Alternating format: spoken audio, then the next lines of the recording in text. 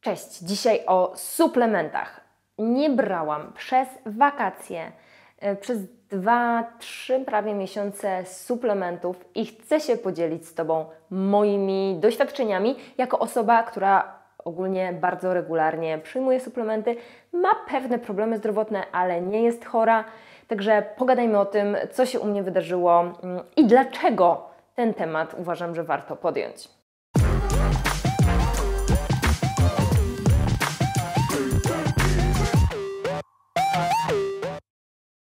Wakacji mieliśmy trochę wyjazdów, dzieciaki są w domu, a mam ich trójkę, więc wiadomo, że trochę trudniej z taką codzienną organizacją. Myślę, że rodzice wiedzą o czym mówię, jednak jak dzieci idą do szkoły albo przedszkola, to jest łatwiej to wszystko ogarnąć i e, pracować zawodowo. E, natomiast e, zrobiłam sobie oczywiście i całej mojej rodzinie, bo w sumie tak staram się przynajmniej raz w roku wszystkim nam robić badania i właśnie pod koniec wakacji zrobiłam nam badania i chcę się podzielić z Wami moimi spostrzeżeniami. Ogólnie przez to, że nie brałam przez 2-3 miesiące supli, jak widać żyję i mam się w miarę dobrze. Natomiast chcę zwrócić Twoją uwagę na kilka rzeczy. Po pierwsze, e, najważniejsze, bo suplementacja nie jest konieczna, jeżeli się dobrze odżywiamy i tak naprawdę im lepszą, bardziej bogatą mamy, odżywczą mamy dietę, im mniej jemy syfu, e, no i też im zdrowsi ogólnie jesteśmy, tym mniej tego wsparcia e, suplementami potrzebujemy, więc to chcę na to zwrócić Twoją uwagę. My ogólnie odżywiamy się zdrowo, i też w wakacje jest u nas dużo warzyw, owoców, dobrej jakości białka, e, słońca, aktywności ruchu, przyrody, więc to wszystko na pewno sprzyja temu, że tak dużo tych suplementów nie potrzebujemy. Natomiast witamina D3. Uważam, że warto ją suplementować tak naprawdę cały rok bez przerwy, ale no przyznaję, zrobiliśmy sobie przerwę w wakacje. Dlaczego Ci o tym mówię? Mój poziom witaminy D po tych trzech miesiącach jej niesuplementowania spadł, bo ja wcześniej miałam poziomy w okolicach 50-70 e, jednostek, natomiast jak sobie teraz zbadałam, to to jest 35 jednostek, więc wciąż to jest dobry poziom, no ale rzeczywiście mimo tego, że spędzałam sporo czasu na słońcu, że były wakacje, to zobacz, że ten poziom mi spadł. Jakbym startowała z takiego poziomu 30 parę, no ten, ten poziom na pewno obniżyłby mi się jeszcze bardziej. E, mój mąż mm, przy braku suplementacji ten poziom miał jeszcze niższy, bo troszkę poniżej 30, więc w ogóle włączyliśmy od razu suplementację wyższymi dawkami. Ale powiem Ci coś ciekawego o moich dzieciakach, ponieważ Stefan, który jest najstarszy, ma 10 lat, miał poziom 70 bez suplementacji przez 2-3 miesiące. On y, bardzo dużo czasu spędza na świeżym powietrzu, bo po prostu ciągle gra w piłkę albo jakieś inne rzeczy robi. I u niego ten poziom się w ogóle nie obniżył. U Nelly, która ma dwa latka, ten poziom też wynosił powyżej 50 i też praktycznie przez te wakacje ją nie suplementowałam witaminą D.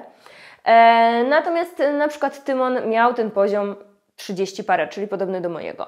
Więc mimo, że suplementuję moje dzieci podobnie albo nie suplementuję podobnie, e, to zobacz, że mieli dość różne te poziomy witaminy D. Dlaczego Ci o tym mówię? Bo poziom witaminy D3 zależy od tego, ile czasu spędzamy rzeczywiście na słońcu, to jasne.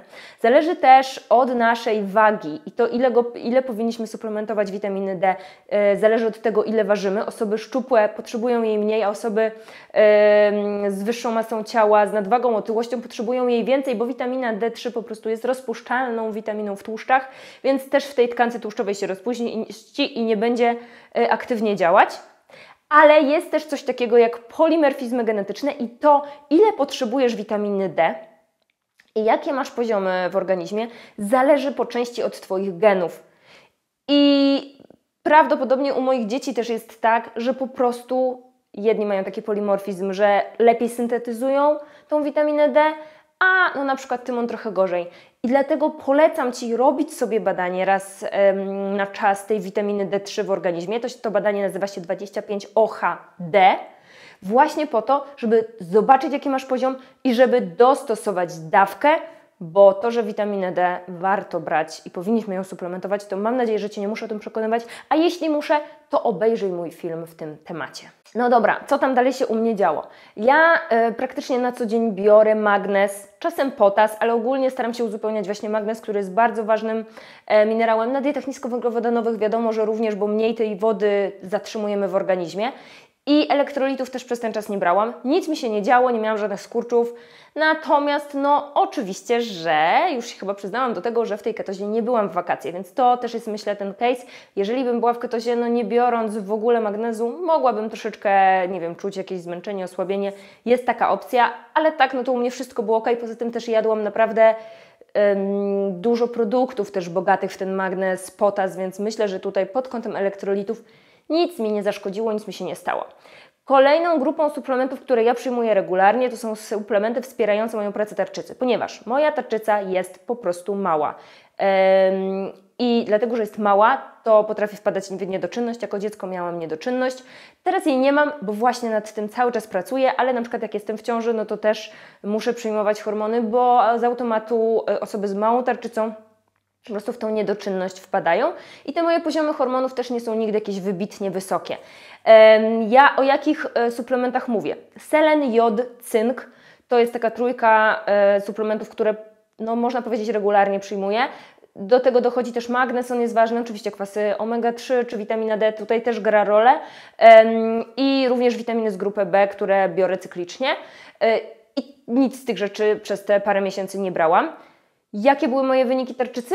Troszeczkę y, wpadłam w taką lekką niedoczynność, ale to nie były naprawdę złe wyniki. Moje TSH to było 2,0 coś, więc całkiem w porządku.